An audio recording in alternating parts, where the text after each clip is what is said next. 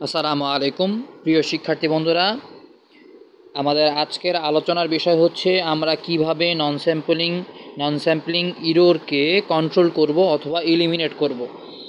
তো আমরা একটু দেখতেছি how to control them the method of controlling and eliminating non sampling error described below number one population and sampling population and sampling. Population and sampling units are to be defined properly. আমি যে পপুলেশনটা নিয়ে কাজ করব, সেটা properly define করতে হবে, যথাযথভাবে define করতে হবে বা সংজ্ঞায়িত করতে হবে।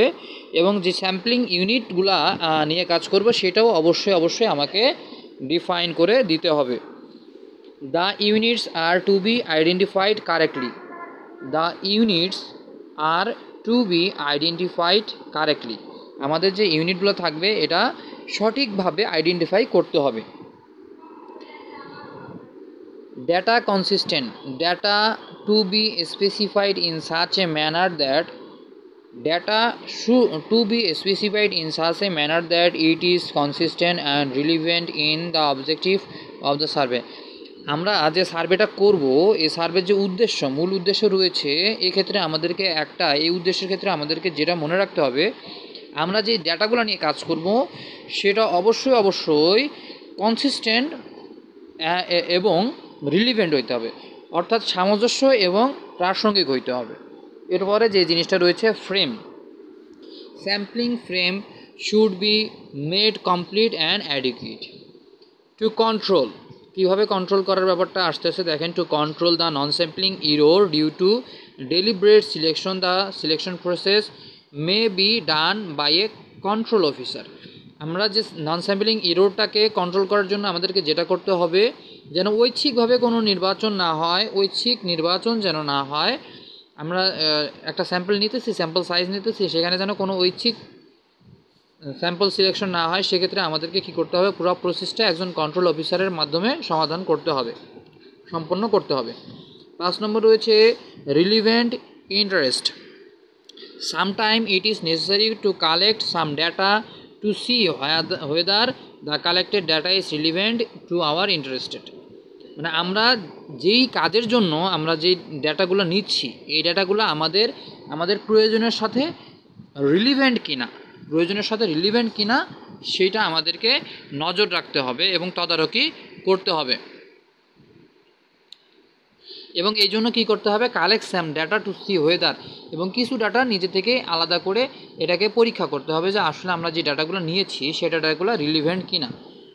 প্রপার সুপারভিশন ছয় নম্বরে রয়েছে proper supervision proper supervision and care should be taken of all stage of the survey আমাদের এই যে সার্ভে সম্পন্ন হওয়ার প্রত্যেকটা প্রত্যেকটা পজিশনে প্রত্যেকটা জায়গাতেই আমাদেরকে প্রপার সুপারভিশন করতে হবে। পপুলেশন থেকে তথ্য সংগ্রহের ইনফরমেশন কালেকশনে টেবুলেশনে সরি ইনফরমেশন কালেকশনের সময়, তারপর আমাদের ইনভেস্টিগেশনের সময়, সব ক্ষেত্রে আমাদেরকে কি করতে হবে? প্রপার সুপারভিশনটা করতে হবে।